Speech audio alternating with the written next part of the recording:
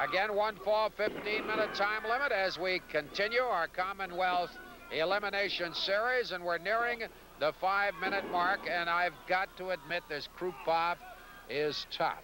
He certainly is. Vladimir Krupoff once again treated the fans here, and treat is a word is a word I use with some reservations. Uh, to the Soviet national anthem, he sang it, and we had a chorus of boos that I'm sure could be heard all over the city. I think his singing may hit, may make people hit the boos, if you know. no? that's, okay. that's certainly true. But look at that big smile on his face.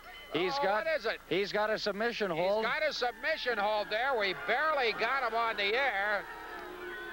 Vladimir Krupoff. Over. Vladimir Krupoff did that uh, chin lock and backbreaker combination on Bob Wayne, and he hasn't had enough. He wants to keep punishing Bob Wayne in there.